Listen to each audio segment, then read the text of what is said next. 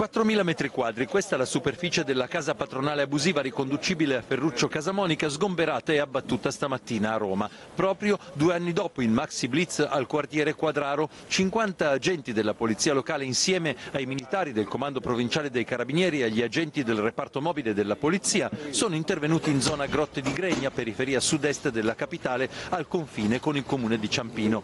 Il complesso era una roccaforte del clan di origine Sinti dedito a usura, racket e traffico di droga. Sei case erano state date in affitto, mentre la più grande, arredata nello stile tipico delle famiglie nomadi, era ad uso del capostipite Ferruccio e della moglie Dolores Sara Spada, proveniente dall'altro potente clan della capitale. Oltre agli appartamenti che erano di fatto vere e proprie ville, nel complesso c'era una piscina di 50 metri quadri. In base al vigente piano regolatore sull'area esisteva anche un vincolo di non edificabilità e uno archeologico istituito il 2 febbraio del 1990. 1999. Il primo rilievo dell'abuso edilizio era arrivato ben 38 anni fa, ma i provvedimenti di abbattimento e acquisizione al patrimonio capitolino erano stati emessi e revocati più volte per presunti errori per tutti gli anni 2000.